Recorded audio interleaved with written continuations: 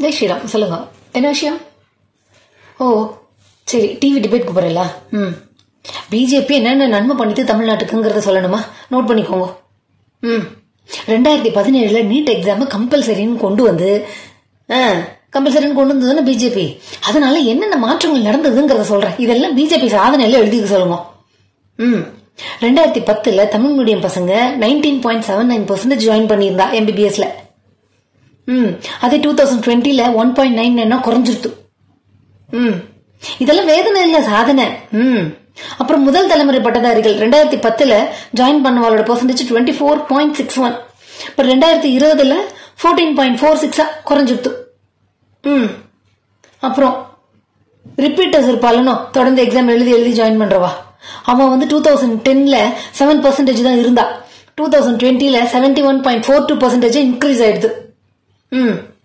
அப்புறம் two thousand லெவனில் எஸ்சியில் ஜாயின் பண்ணவோ two point six nine ST zero point one nine but இதுவே ரெண்டாயிரத்தி இருபதில் பார்த்தீங்கன்னா ஒன் பாயிண்ட் ஒன் ஜீரோ தான் எஸ்சி எஸ்டியா யாருமே ஜாயின் பண்ணல. ம் இதெல்லாம் சாதனை பார்த்துக்கோங்க. ம் மழை பெய்யறதாக்கும் நீங்கள் மழைன்னா தான் எனக்கு ஒன்று நினைவுக்கு வர்றது. என்னென்னா கர்நாடகாவிலேருந்து காவிரி தண்ணியை ஆஸ் பர் ரூல்ஸ் காங்கிரஸ் வந்து திறந்து விட்டுருக்கு. அங்க இருக்கக்கூடிய காங்கிரஸ் கவர்மெண்ட் உடனே பிஜேபி காரர்களுக்கு கோவம் வந்துருது.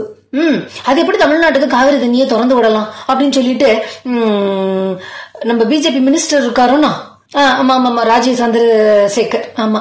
அவர் பகிரங்கமா பேட்டியே கொடுத்துட்டார் அது எப்படி தமிழ்நாட்டுக்கு தண்ணி கொடுக்கலாம் அப்படின்னு சொல்லிட்டு. ம், சட்டமா இருந்தாலும் தமிழ்நாட்டுக்கு கொடுக்கறத கோச்சுட்டு இருப்பாருங்க அதனால பிஜேபியோட அபிஷியல் ட்விட்டர்லயே போட்டு தீட்டிட்டா. இந்த மாதிரி தமிழ்நாட்டுக்கு காங்கிரஸ் கவர்மெண்ட் எப்படி தண்ணியை திறந்து விடலாம் அப்படின்னு. ம் இவ்வளோ நன்மை பண்ணியிருக்கு பாருங்க தமிழ்நாட்டுக்கு. பிஜேபி. இப்போ சொல்லுங்க. பிஜேபியை பற்றி நீங்கள் என்ன நினைக்கிறேன்